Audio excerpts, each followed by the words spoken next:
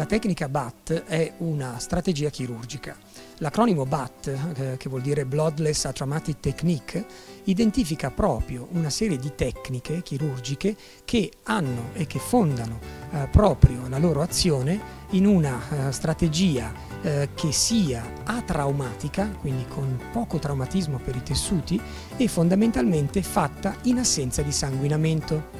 In che maniera è possibile raggiungere eh, questa atraumaticità e questa assenza di sanguinamento? Per quanto riguarda la traumaticità eh, vengono messe in atto manualità estremamente attente, eh, vengono impiegate delle apparecchiature eh, estremamente sofisticate eh, che permettono proprio di eh, trattare i tessuti con la dovuta attenzione e eh, soprattutto cercando quella delicatezza che in effetti è fondamentale non solo per ridurre proprio il, i tempi di post-operatorio del paziente, ma tendenzialmente anche le complicanze a distanza. Per quanto riguarda la perdita di sangue intraoperatoria, in effetti abbiamo abbandonato tutti quegli strumenti che per anni avevamo impiegato, come le forbici eh, piuttosto che alcune pinze estremamente traumatiche, e abbiamo impiegato proprio non solo degli strumenti